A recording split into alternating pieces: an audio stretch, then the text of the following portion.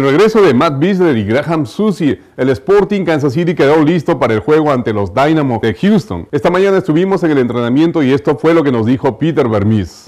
Ganar siempre es, es, importante, ¿no? Pero mañana es importante uh, porque mucho, mucho cosas. Uh, nosotros tenemos seis partidos uh, para el final de.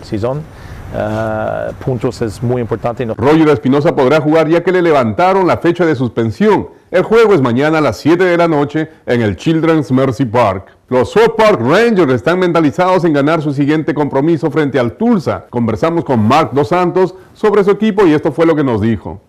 Pero los otros están todo bien y todo activos para jugar. Creo que el equipo muy próxima que jugó contra San Antonio o, o LA va a ser la que va a estar en la cancha.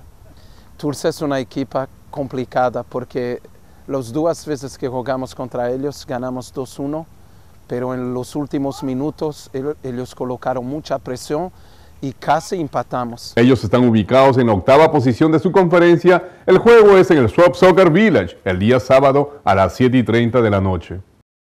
Para más información del deporte local, busque la revista Conexiones en todas las tiendas hispanas de Kansas City.